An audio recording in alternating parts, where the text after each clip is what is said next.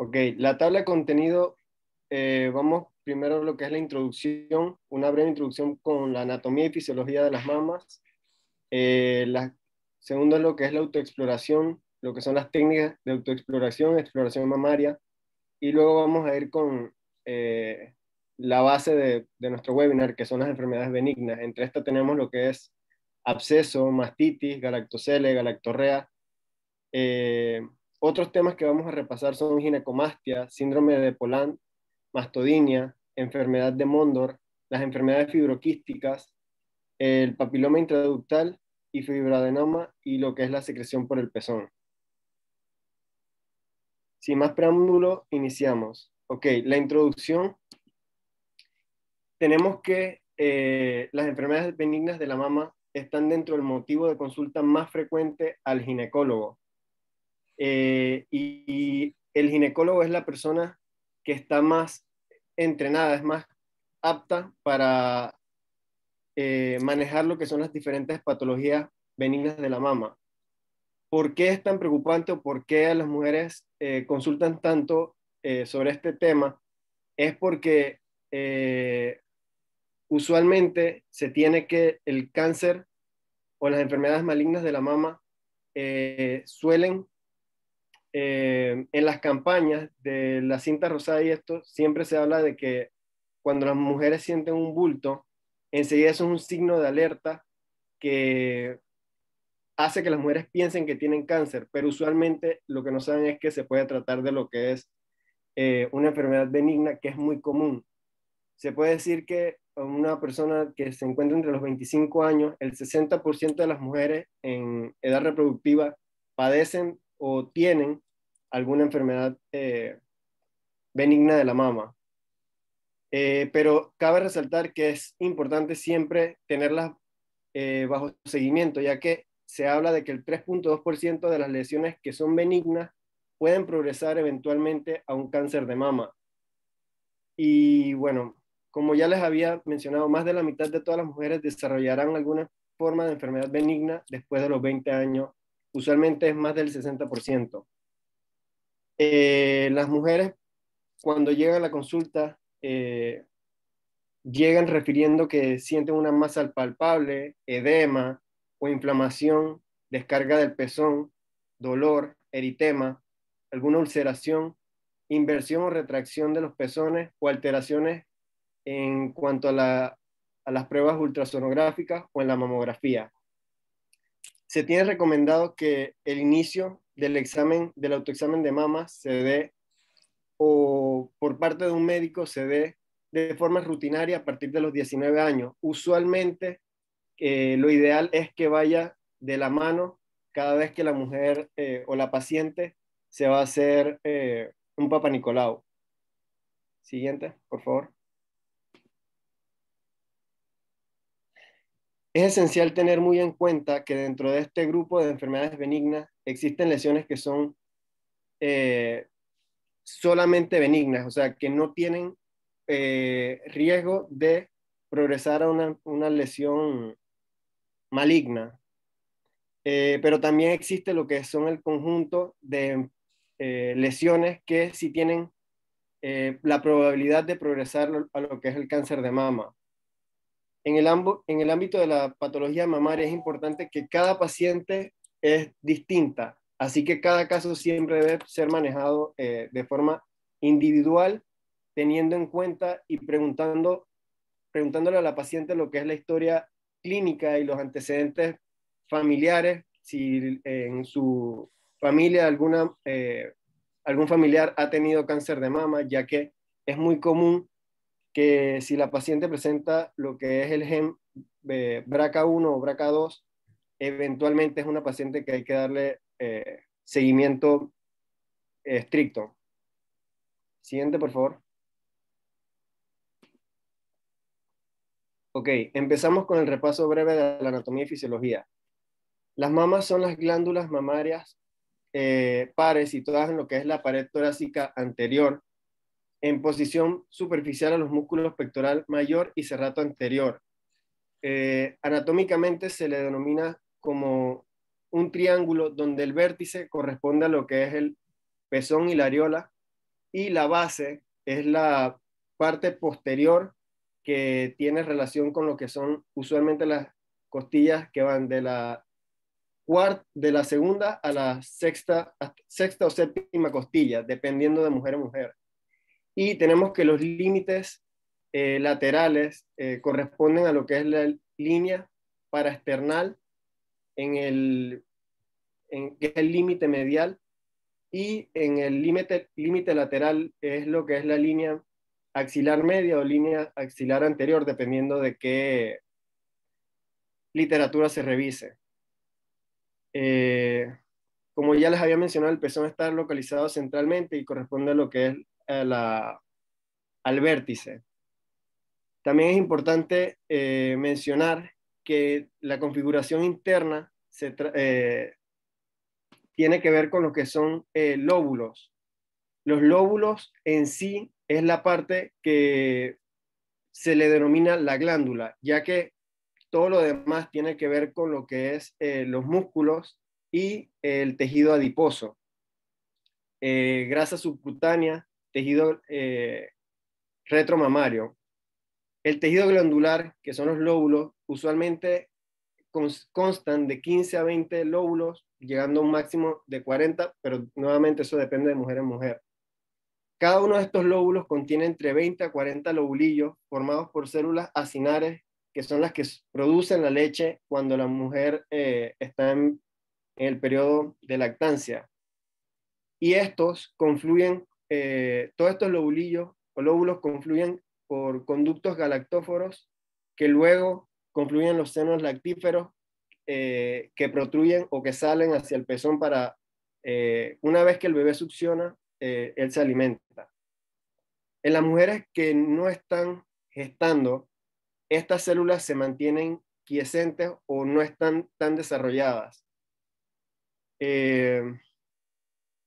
También hay que mencionar que la mama tiene tejido de sostén, que se le conoce como ligamentos de, Cooper.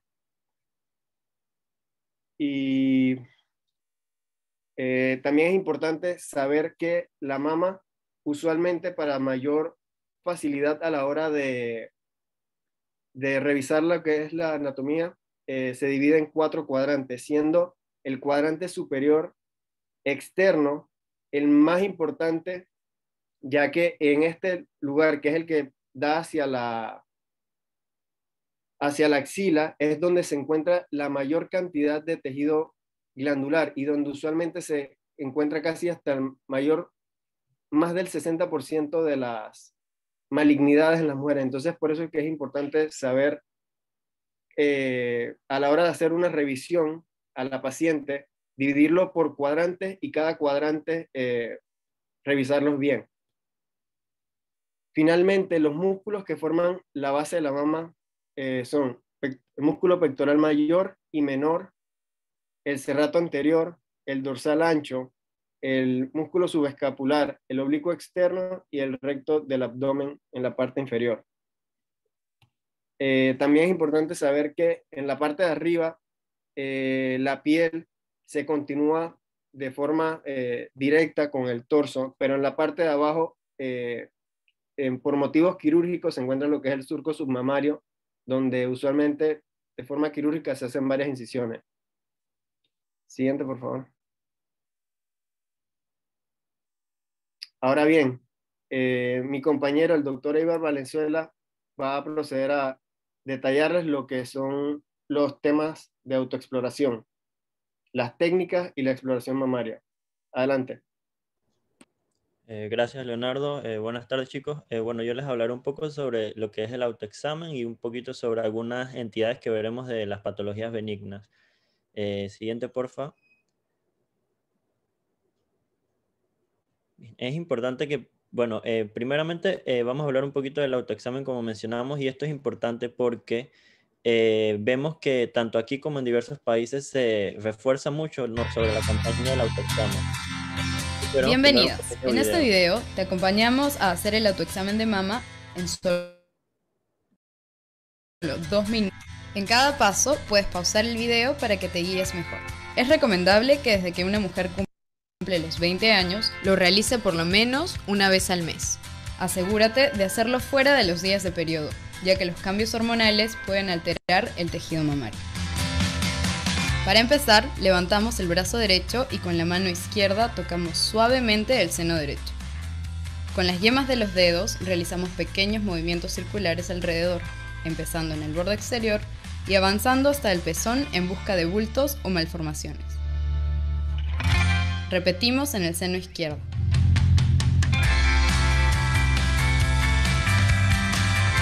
Presionamos suavemente ambos pezones y nos fijamos si hay alguna secreción anormal. Usualmente, antes de un primer embarazo, no deberías tener ningún tipo de secreción. De ser así, consulta con un especialista. Ahora examinamos directamente el pezón, presionando con un dedo para ver posibles cambios.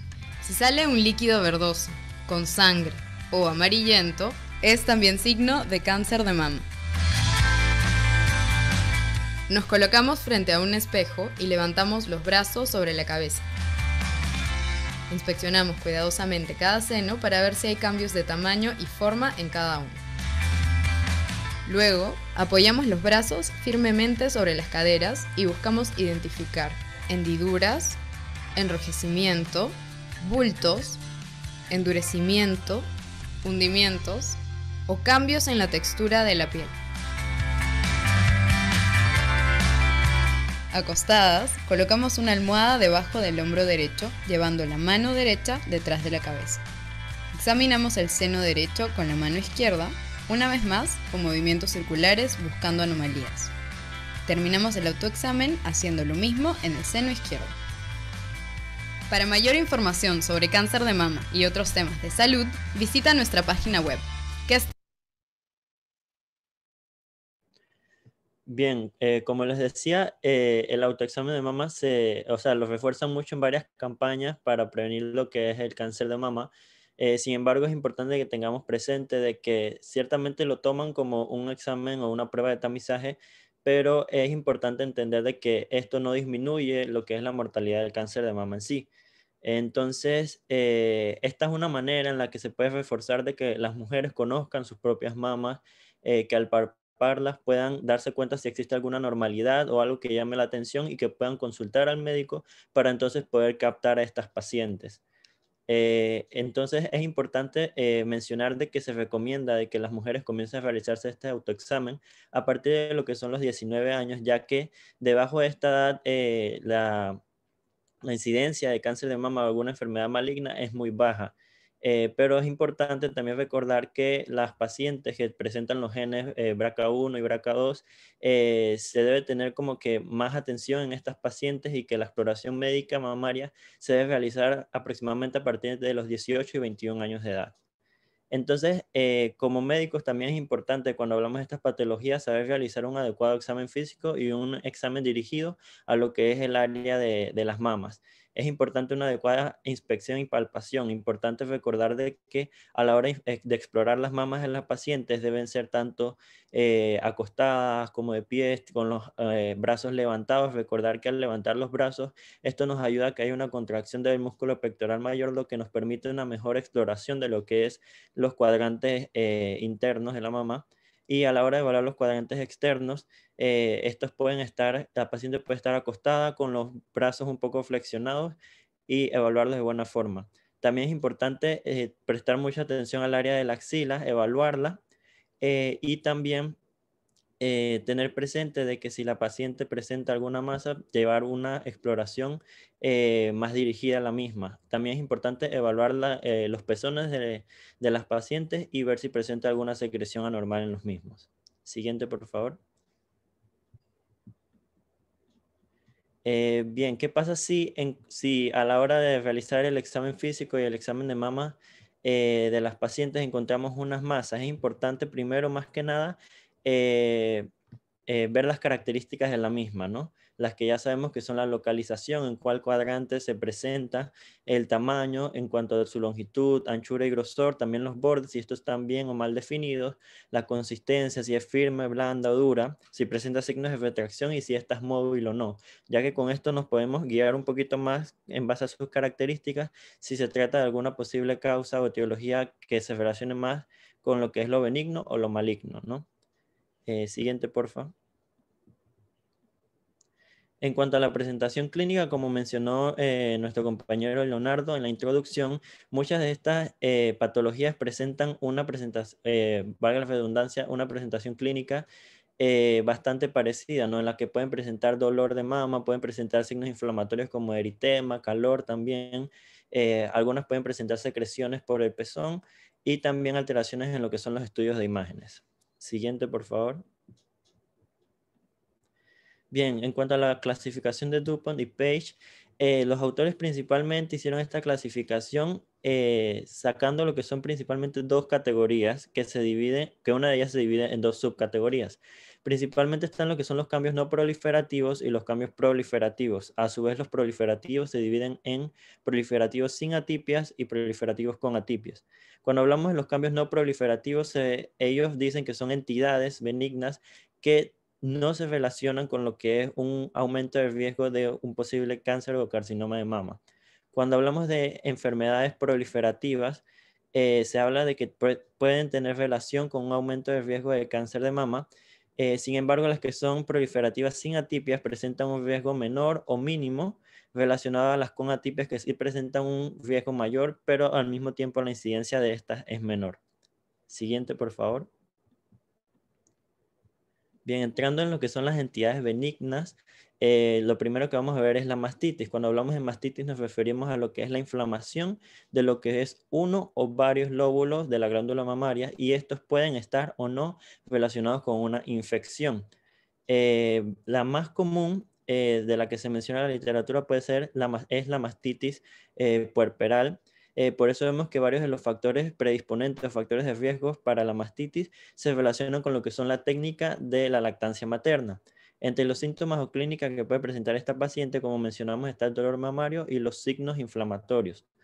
Eh, si se relaciona con infección, puede haber fiebre o algunos otros síntomas más generales o sistémicos.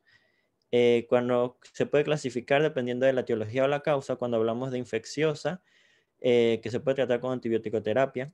La puerperal, como dijimos, la más común, se relaciona con, lo que es las, las técnicas de lactancia materna eh, y esta se puede dar, eh, se puede dar tratamiento también con antibiótico-terapia. Cuando hablamos de la no porperal se relaciona principalmente con lo que es la manipulación de los pezones y eh, esta también se puede dar con tratamiento con antibiótico-terapia, clindamicina, como veremos un poquito más adelante. Siguiente, por favor. bueno, la presentación clínica ya la mencionamos. Eh, recordar dolor, eh, dolor en la mama, eh, signos inflamatorios y puede presentar, dependiendo si es infecciosa o no, fiebre y síntomas sistémicos, ¿no? y la mastitis puerperal, que es la de mayor incidencia. En cuanto a la fisiopatología de la mastitis, lo que principalmente debe haber es un inadecuado drenaje de lo que es la leche materna, ¿no?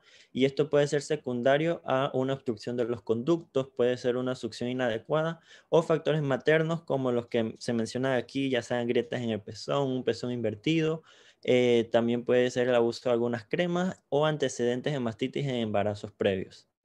Siguiente, por favor. Y como mencionamos, el tratamiento se basaría principalmente en la antibiótico-terapia. Eh, la anterior, porfa.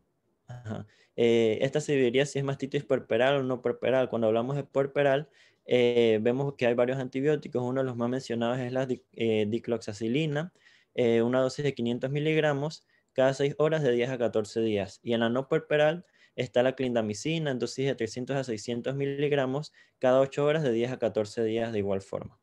Siguiente, por favor.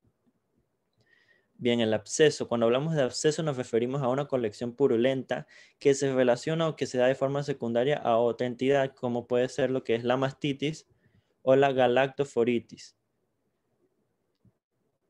Em, el absceso, eh, como dijimos, eh, entre los principales métodos diagnósticos puede estar también los estudios de imágenes y el tratamiento de esta principalmente sería la succión del mismo, eh, el material del mismo absceso, el cual cuando ya se obtenga se pueden hacer estudios de cultivo para determinar qué, qué sea o algún agente etiológico causante y al mismo tiempo eh, se le puede brindar tratamiento con antibiótico-terapia. Aquí podemos ver unas imágenes en las cuales se diferencian en las características clínicas de la inflamación mamaria eh, propia de lo que es la mastitis y ya cuando hay un absceso mamario que en algunos casos puede ser más evidente.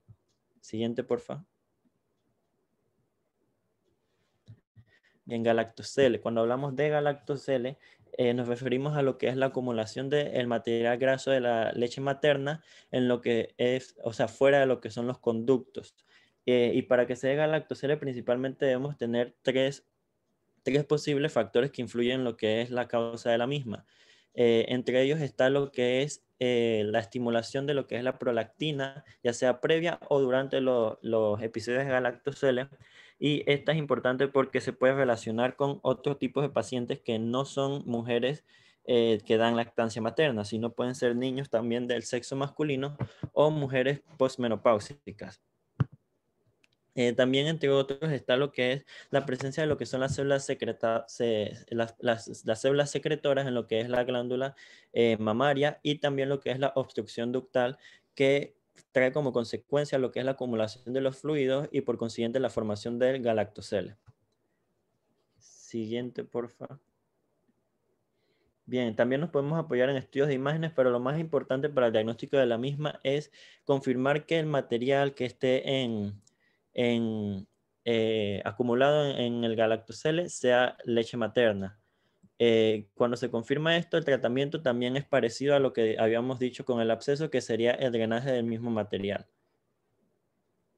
Siguiente, porfa. Bien, cuando hablamos de galactorrea, ahora nos referimos principalmente a la secreción de leche materna eh, por el pezón, pero en una condición que no se relaciona a la lactancia materna, o sea, pacientes que no están eh, eh, o sea, que no han pasado por el parto, que no están dando lactancia materna, o sea, no se relaciona con estos periodos. Eh, siguiente, por favor.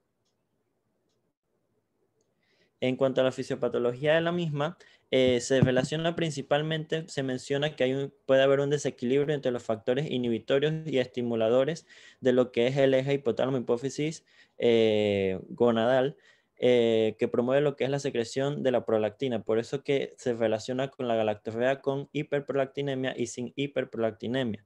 Entre los factores inhibitorios principales vemos que está la dopamina, en los cuales eh, una disminución grande de este factor inhibitorio puede aumentar lo que es la secreción de prolactina y llevar a, lo que es eh, la galactorrea. Siguiente, por favor. bien, en cuanto al plan o cómo hacer con estas pacientes, eh, vemos que principalmente, como mencionamos, es importante que en estas pacientes se haga una adecuada historia clínica eh, en las cuales eh, profundicemos en los hallazgos de la misma secreción que presenta la, paciente, hacer una exploración física y una exploración mamaria dirigida y completa y apoyarnos también en la citología de lo que es la secreción. Si la secreción se basa en lo que es material graso que se relaciona a la leche materna, podemos irnos más por el diagnóstico de una galactorrea y eh, para buscar la causa de la misma basarnos en otros estudios como las concentraciones de hormonas, sea la, prolactina, la FSH, LH, entre otras, como mencionamos, para buscar un posible desequilibrio en lo que son los factores inhibitorios y los factores estimuladores y buscar la posible causa del cuadro de la paciente. Eh, cuando hablamos de una masa o una secreción que es más localizada, o sea, que es más eh, unicanalicular y la citología eh, no se relaciona con lo que es el material graso de la leche materna, eh, podemos ayudarnos más en lo que, apoyarnos más en lo que son los estudios de imágenes como mamografía y ecografía, que también se basará en, base a la, edad de la paciente. Siguiente, por favor. Y bueno, en cuanto al tratamiento, es importante tener en cuenta de que muchas veces eh, se menciona de que estas, si estas pacientes no presentan una dificultad o limitación, ya sea estética o funcional, muchas veces no se le brinda un tratamiento farmacológico. eh, pero también hay casos en los cuales eh, sí causa lo que es una incomodidad o incapacidad y se les, se les brinda tratamiento con lo que son los agonistas de la dopamina, porque como vimos, como vimos, la dopamina es el principal factor inhibitorio del eje que mencionamos. Siguiente, por favor. Bien, en cuanto a la ginecomastia, cuando hablamos de ginecomastia nos referimos a la hipertrofia de lo que es el tejido glandular mamario en los varones. Eh, y ¿Por qué se da esto? Eh, lo principal que debemos tener claro es que se puede dar por dos cosas. Una disminución de lo que es el efecto de los andrógenos o también por un aumento en lo que es los efectos de los estrógenos. Eh, siendo así, podemos basarnos en que puede haber ginecomastia primaria, principalmente se puede dar tanto en lactantes como en adolescentes. En lactantes principalmente porque eh, cuando el niño recibe lactancia materna, también recibe estrógenos por parte de la madre, lo que influye en esta condición en el niño. Eh, también cuando hablamos en la adolescencia, se, habla de lo que es la ginecomastia fisiológica, en la cual se puede dar por los desequilibrios hormonales en cuanto al periodo de desarrollo sexual de, estos, eh, de los adolescentes, pero se menciona de que esta normalmente debe resolverse entre los siguientes 6 a 2 años. Eh, cuando esta permanece después de este periodo, se, habla se puede hablar de una ginecomastia puberal persistente, en la cual ya sería una ginecomastia del adulto, y en los adultos también se puede dar la ginecomastia secundaria, secundaria a otras enfermedades como tumores eh, testiculares, de células de Sertoli o de Leydig. Eh, y también en lo que son los pacientes seniles se puede relacionar mucho con lo que son secundarias fármacos, ya que por diversas enfermedades crónicas que pueden presentar los pacientes, toman fármacos que causan este como un efecto secundario. Y también se puede hablar de la idiopática cuando se hace una adecuada exploración, una adecuada evaluación del paciente y no se encuentra una causa aparente de la ginecomastia del paciente. Siguiente, por favor. Ah, bueno, es importante también estos pacientes recordar de que hay un aumento de lo que es el tejido graso mamario, pero sin aumento de lo que es el tejido glandular en la mayoría de los pacientes. Y bueno, como mencionábamos en las posibles causas, eh, las patologías que pueden dar ginecomastia secundaria a estas, los tumores de las células de Leydig, células de Sertoli, la cirrosis hepática, la anorquia congénica, congénita también, y los fármacos que acá eh, en el cuadro de su derecha pueden ver algunos de los fármacos que pueden tener esto como, eh, como efecto secundario. Y recordar de que el principal mecanismo son el aumento ya sea de los estrógenos o la disminución de lo que son los andrógenos. Siguiente, por favor. Bueno, el diagnóstico, como mencionamos, es muy importante en estos pacientes hacer una adecuada historia clínica, ¿no? Eh, en esta historia clínica tenemos que tener presentes, eh, preguntar o interrogar sobre los datos relacionados a la ginecomastia, o sea, cuándo apareció, si es simétrica en ambos lados también, si el paciente eh, empezó o terminó lo que son el desarrollo sexual secundario, si lleva relación con esto también, si presenta antecedentes de algunas enfermedades o toma algunos medicamentos. Y al examen físico es importante también buscar hallazgos o signos o síntomas que se relacionen con algunas otras etiologías pueden ser las posibles causas de eh, la ginecomastia. Entonces, esto también se puede ver en el interrogatorio por aparatos y sistemas. Eh, también es importante que en algunos pacientes se manden lo que son los estudios de concentraciones séricas de las hormonas, ya sea LH, FSH, testosterona, estradiol o la hormona gonadotropina coriónica humana. Siguiente, por favor.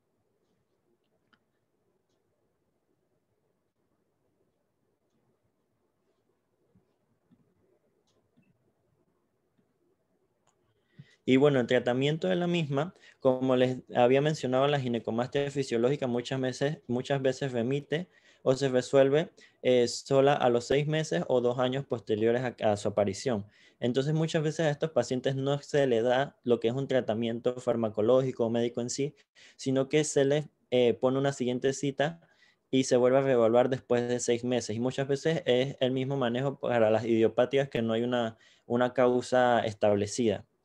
Eh, muchas veces cuando es relacionado secundaria a fármacos, esta suele remitir espontáneamente cuando se interrumpe o se elimina lo que es la administración del mismo fármaco. Eh, es importante, muchas veces se menciona de que cuando el paciente presenta un dolor importante o la sensibilidad eh, que son muy molestos para el paciente, se puede brindar tratamiento con tamoxifeno, pero la literatura muchas veces menciona que este muchas veces no es no es muy, muy eficaz en este tratamiento.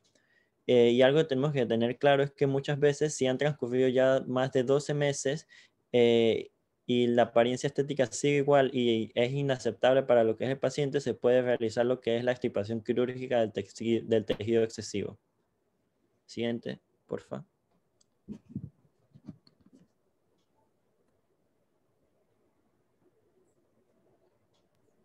Hola, ahorita en la segunda parte de nuestro webinar, la doctora Yasmín Dixon procederá a presentarnos los temas de síndrome de Poland, mastodinia, enfermedad de Mondor, enfermedades fibroquísticas, patologías congénitas, papiloma intraductal y fibroadenoma, secreción por el pezón.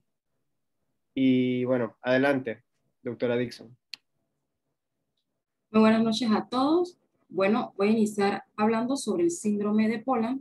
Este síndrome es una alteración congénita eh, muy poca frecuente que se basa en eh, la ausencia total o parcial del músculo pectoral mayor.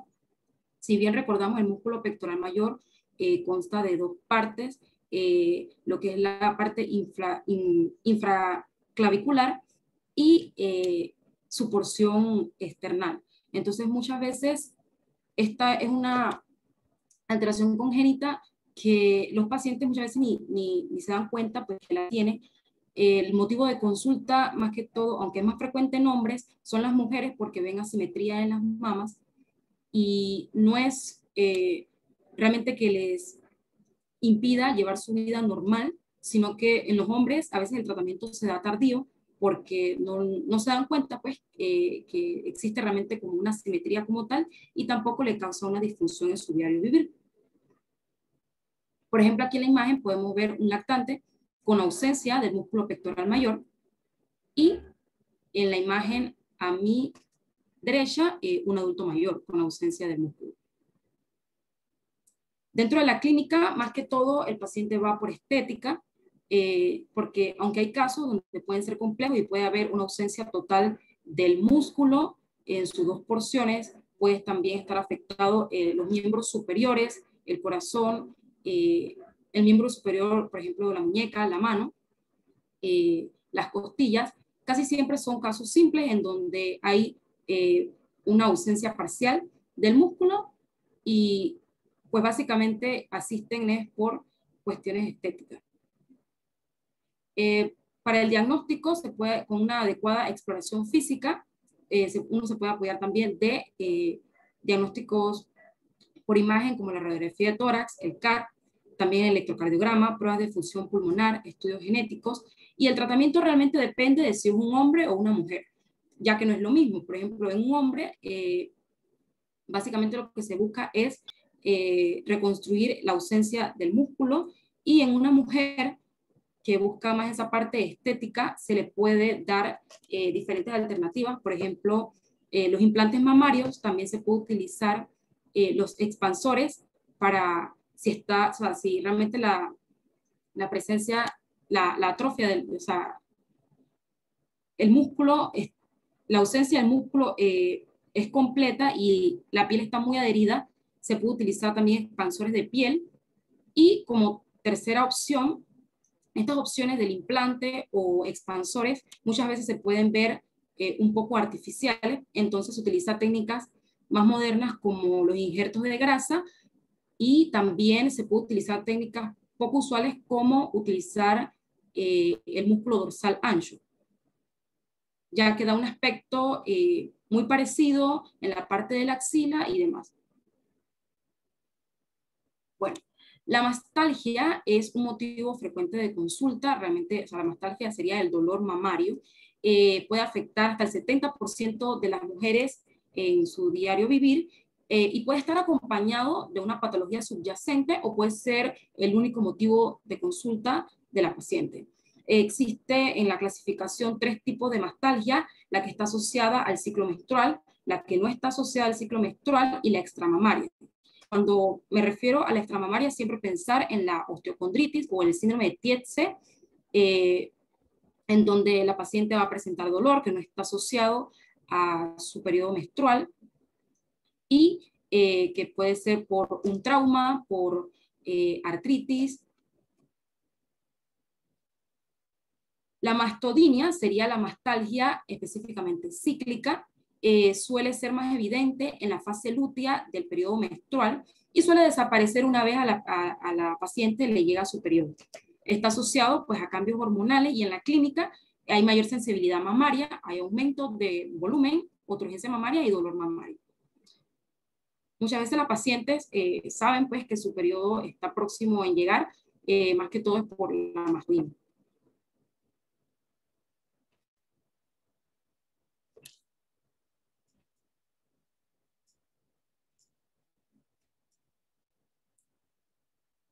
Me disculpo un segundito.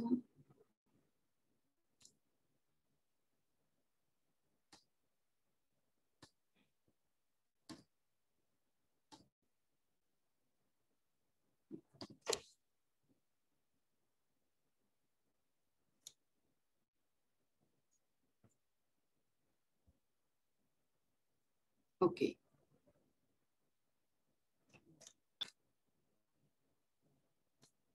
¿Me avisan? ¿Se ve? ¿Sí? Sí, sí se ve. Ok. Eh, dentro del, para el diagnóstico de la mastalgia y poder diferenciarlo entre mastodinia y mastalgia, básicamente la historia clínica, eh, la mastodinia, mujeres jóvenes y adolescentes, y está asociado a su dolor, eh, un dolor pues premenstrual. El tratamiento sería con antiinflamatorios no esteroideos. En casos más graves se puede utilizar y tiene gran evidencia científica el danazol, el toremixfeno y el tamoxifeno. Pero generalmente con los antiinflamatorios no esteroideos eh, pues resuelve el cuadro de dolor.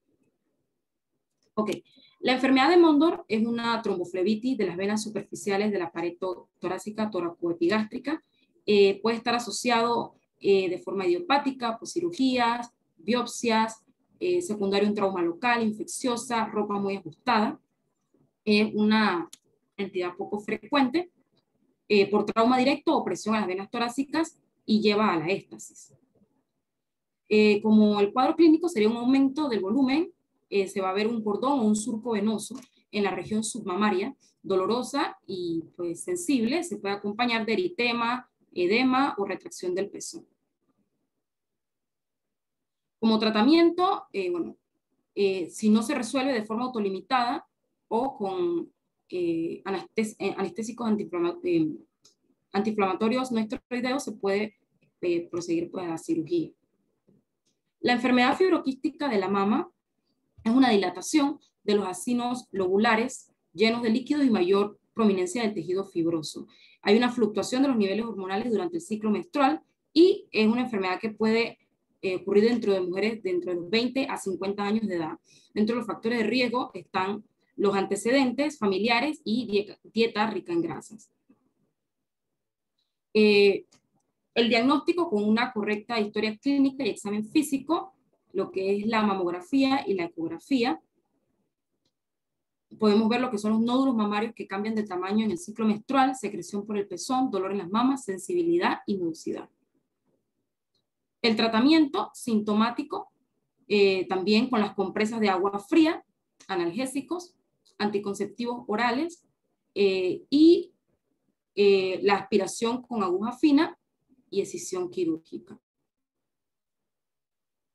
Y aquí los quistes simples, que puede presentarse como masas mamarias palpables o anomalías mamográficas, un aumento de tamaño brusco que puede derivar de un dolor repentino, severo y localizado.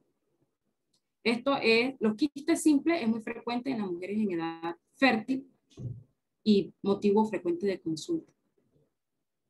Dentro de otras patologías congénitas está la politelia, que sería la presencia de un pezón eh, en un área obviamente que no fuera de, la región normal de, la, de, de las mamas, pero a diferencia de la polimastia, este no contiene eh, tejido mamario, glándulas mamarias, solamente es el pezón. Entonces la polimastia sería la presencia de eh, la glándula mamaria en un área fuera de las mamas y obviamente al ser contenido eh, glandular también puede presentar manifestaciones clínicas como las que estamos hablando.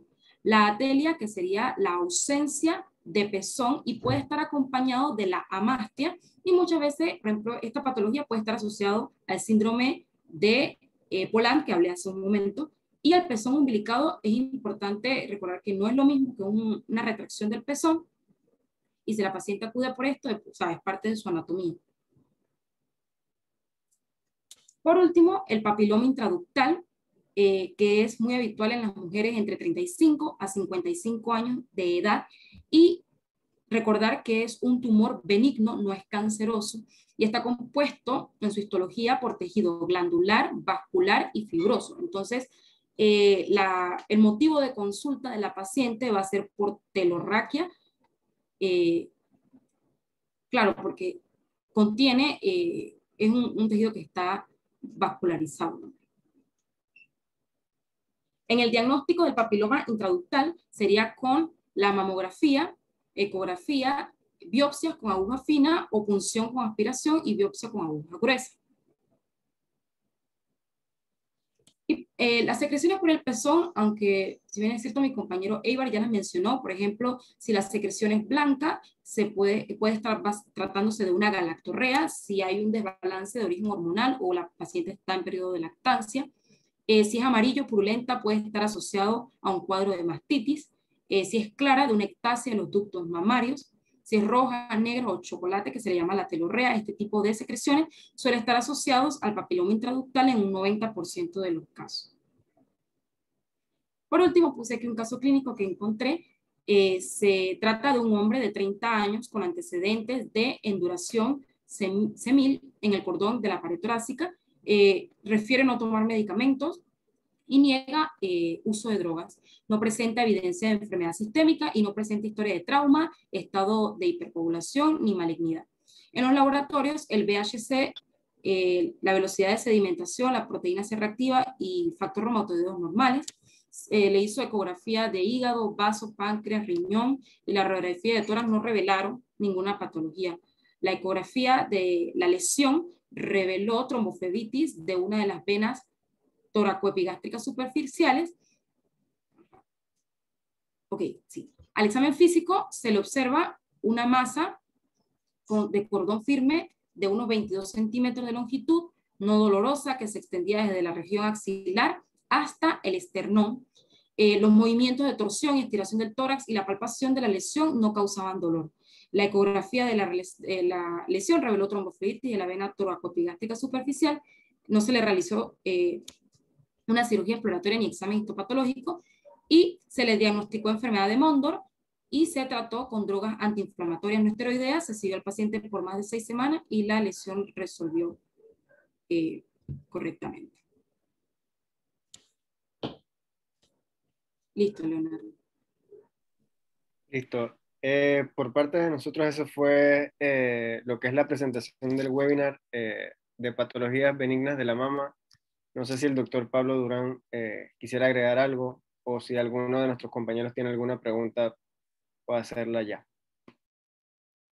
No, como presentación está muy completa, nada más que acostúmbrese cuando hacen presentación. A veces las presentaciones se le dicen de un día para otro, pero acuérdense que esto, todas las cosas, casi toda la información está en internet como la han demostrado ahí, pero cuando escriben la diapositiva, no escriban lo que están leyendo, porque cuando el día de mañana que tengan que ir a un congreso ustedes, mejor momento para aprender ahora que son estudiantes. El día de mañana que tengan que ir a un congreso a presentar algo, la gente no le gusta que tú escribas lo que estás leyendo. Sino tú pones esto, por ejemplo, y tú hablas, bueno, la mama se ve roja, eh, indurada y tiene los bordes irregulares, etcétera, pero no lo escribas. Eh, nosotros lo escribimos usualmente para ayudarte, ¿no? Porque no tuviste tiempo para estudiarlo o algo, pero nada más como manera de, de, de, de feedback. No escriban lo que están leyendo porque se ve como si no hubieran estudiado. Así que eh, a veces la diapositiva que tiene muchas letras, la gente no le pone atención. Yo me estaba durmiendo. Entonces no, no pongan imágenes. Y ustedes que son millennials o generación Z, esto tiene que ser eh, más imágenes. Pero eh, la presentación estuvo muy completa. Hasta yo aprendí cosas. Yo nunca he visto un síndrome de Poland. Además, eso es bien raro. Atelia tampoco. Hay muchas cosas que no he visto. En cuanto a, Mondurs, es bien frecuente, Mondurs lo vemos mucho después de las cirugías plásticas, porque al estirar el tejido se forma tromboflebitis superficial. Y, el, los cirujanos plásticos son expertos tratando esto y lo ven con frecuencia. Y lo único que le damos es aspirina. Aspirina. La aspirina es buenísima, menos que sea alérgico a la aspirina. Aspirina, porque quita la, el, trombo y es antiinflamatorio a la vez. Y, y disminuye la agregación plaquetaria. En cuanto a galactorrea, yo veo mucha galactorrea. Usualmente no le pongo atención si es postparto. La mujer a veces después de un año, después de dar pecho, siguen botando secreción por el pezón. Si es bilateral no hay problema.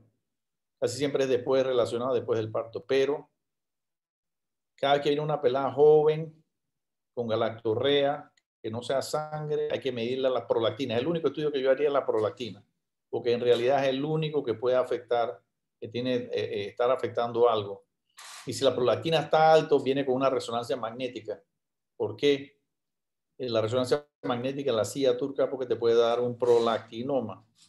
No todo el mundo que tiene la prolactina alta tiene un tumor en la pituitaria, pero yo, si yo fuera la persona que tiene la prolactina alta, yo quiero saber si tiene un tumor en la a turca. ¿Por qué? Porque hay tumores y hay tumores. Hay unos tumores que son chiquitos que necesitan tratamiento, hay otros tumores que no necesitan tratamiento, y hay unos tumores que miden 10 centímetros.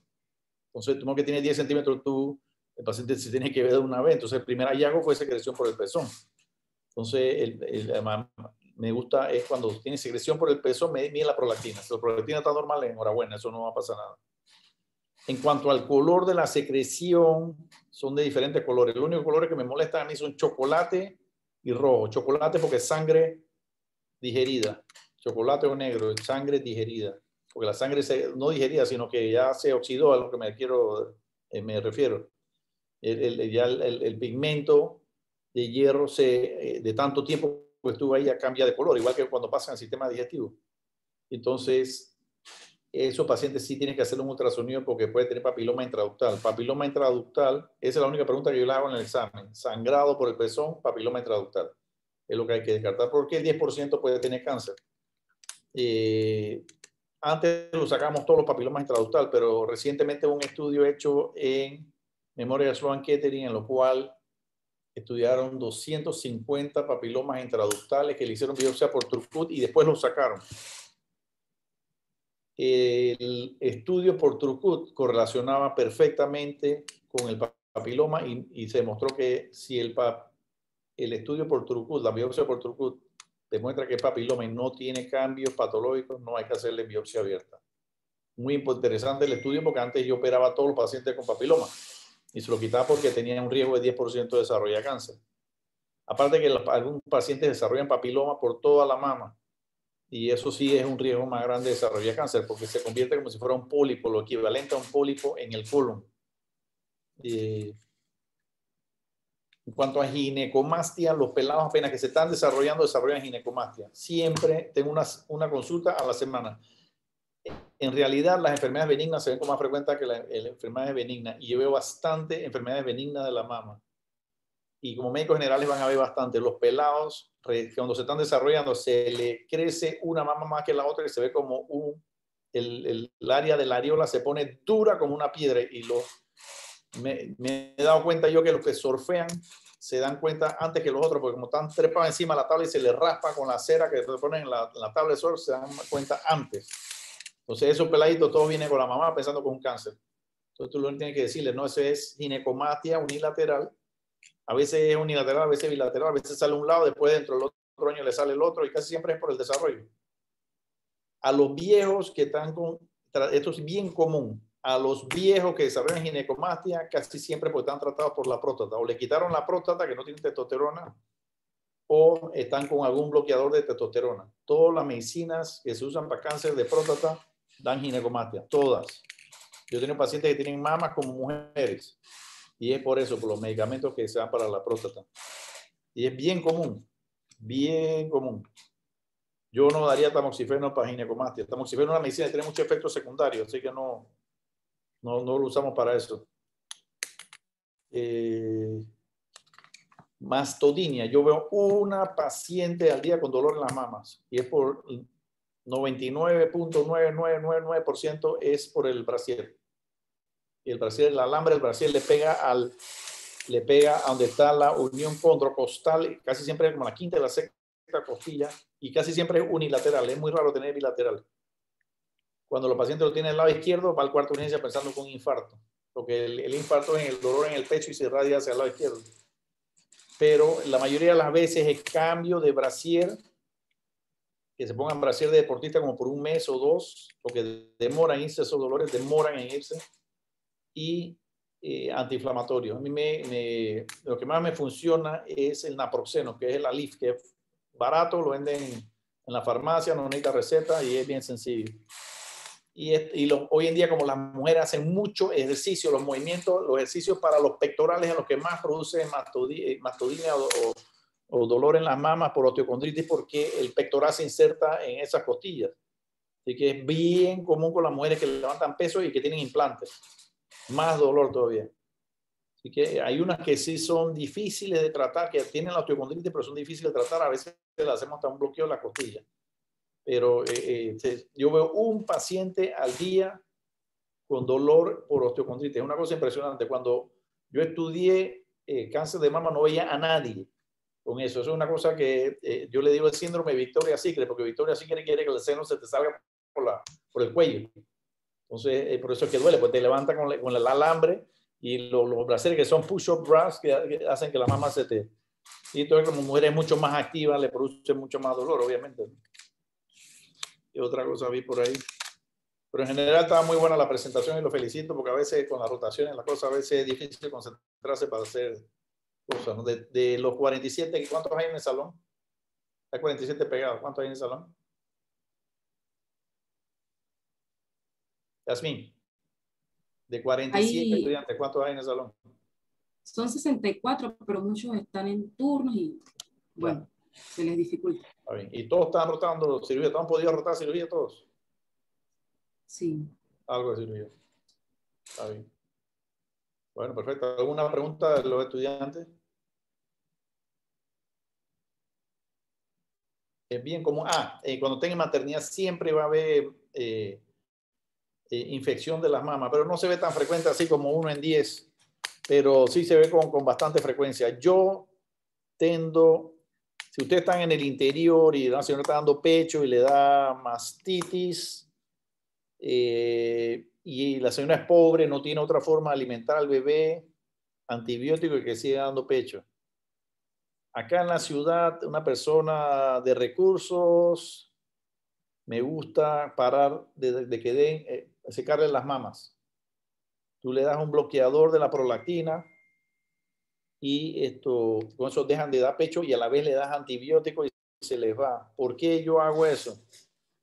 Porque la mayoría de los antibióticos que dan, eh, los ginecólogos tratan de, eh, eh, los, los, ginecólogos usualmente tratan de que el paciente siga dando pecho y le dan antibióticos, igual que los pediatras.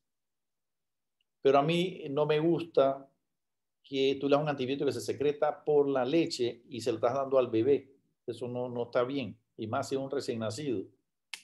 Eh, si el bebé tiene un año y está dando pecho, ya que pare de dar pecho. La mayoría de las veces la infección viene por la boca del bebé que entra por donde está el pezón o por la misma bacteria propia de la mujer. Entonces, el tratamiento que deje de dar se causó por dar pecho, deja de dar pecho. las cosas comunes son más comunes. Si la causa fue dar pecho, tienes que dejar de dar pecho. La connotación sería una persona muy pobre que está en el interior y no puede, no tiene recursos y nada más vive de da pecho. El, bebé solamente va a vivir por el pecho. Ni modo, va a tener que darle antibiótico que se le vaya y que, y que se ordeñe de repente eh, eh, con más frecuencia. Pero a mí me gusta que pare, la, bloquea la prolactina, para la secreción, deja de dar pecho y le da los antibióticos. La mayoría de las veces tiene un absceso y yo me doy cuenta porque le hago ultrasonido. Entonces el absceso se lo dreno aspirando, no hay que abrirlo. Las mujeres cuando están dando pecho, si tú le abres la piel, drenan leche por ahí por muchos años, produce una fístula de leche y no se cura así tan rápido. Entonces no nos gusta cuando las mujeres están en embarazo o eh, dando pecho, eh, hacer cirugía en la mama porque se forma una fístula de leche y no, no, no cierran, no cierran tan fácil. Pero en general tuvo muy buena la presentación. en, uno de ustedes puso en, en una diapositiva que el 3.2% de las enfermedades benignas se convierten en malas. Ninguna enfermedad benigna se convierte en mala. Eh, las enfermedades o, son benignas o son malas. Es posible que parecían benignas, entonces obviamente eran malas. Pero eh, el libro ese no, no está bien. Es, o es benigna o es maligna. Lo único que le faltó tal vez es sarcoma filloides. Sarcoma filloides, que es una enfermedad, hay un sarcoma filloides y hay un filloides que es sin, que no es maligno. Y como se ve, es como un fibranoma gigantesco eh, eh, que crece rápidamente, es una enfermedad benigna de la mama y, y se trata con excisión. Eh, es lo único. Pero sí estuvo muy completa, muy buena. ¿Alguna otra pregunta? Creo que por ahora no hay, doctor, pero muchas gracias por la retroalimentación al webinar y la asistencia a nuestros compañeros. Y bueno, creo que no hay preguntas por, por el momento. Perfecto. Gracias. y buenas noches. Bien. Gracias, doctor. Gracias, doctor. Gracias, doctor.